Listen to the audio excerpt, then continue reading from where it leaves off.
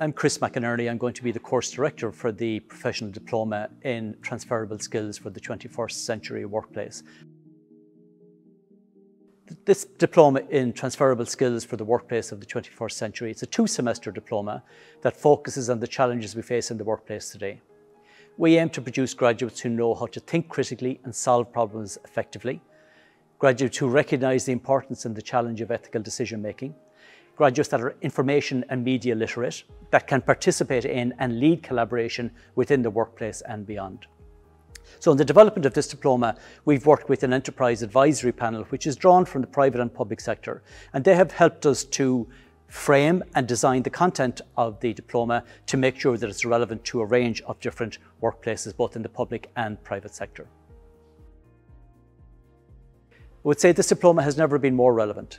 The world of work is changing and the type of skills that are needed across different workplaces are also changing. Technical role, job-specific skills are still needed. Of course, they're still needed, but they're not enough. The 21st century workplace also needs people with cross-cutting, transferable skills to complement these other skills. You might want to think of transferable skills a bit like flexible glue that holds different parts of the organisation together. It's not always the visible parts of the organisation, but it is the, the, the parts of the organisation that are crucial for the whole thing to work as a unit. So on the diploma, you will learn how to make critical, reasoned, informed, reflective and ethical decisions. That's a bit of a handful, but we're confident that by the end of the diploma that you will be in a position to do that. You'll learn both the principles and tools that will help you to work and lead in a more collaborative way. You will also be able to critically evaluate information coming from multiple sources, including mainstream and alternative media sources. And then across the entire diploma, you will learn through using problem-based learning approaches. So this means you will be an active learner, collaborating with your peers as well as working um, on your own, but you will be working with others to share and to combine learning. The skills offered in this diploma, I would say, are essential for anyone in or wishing to be in middle or senior management in public or private sector organisations. It's aimed at anyone in a role where problem solving and decision making are core parts of the job requirement. And there are very few jobs in reality at this point where some degree of problem solving and decision making are not important.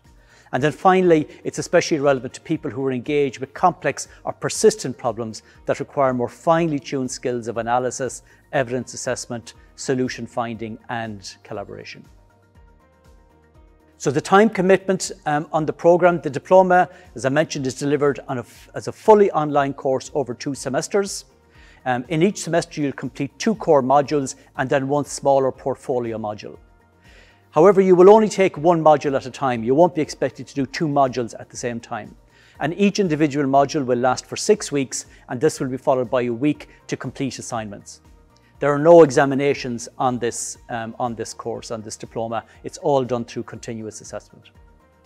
Each week you'll be expected to commit approximately 10 to 15 hours, um, including your individual work and your group activities. But crucially, all lecture materials will be recorded and available to you to watch in your own time. However, we will have a tutorial each week online, a live tutorial to help support your, your learning. So each um, module will have a core lecturer assigned to lead on the module and be responsible for content delivery. But as well as the module leader, support will also be provided by e-moderators who will manage questions and answers on module related topics. And then email and online forum support will be provided.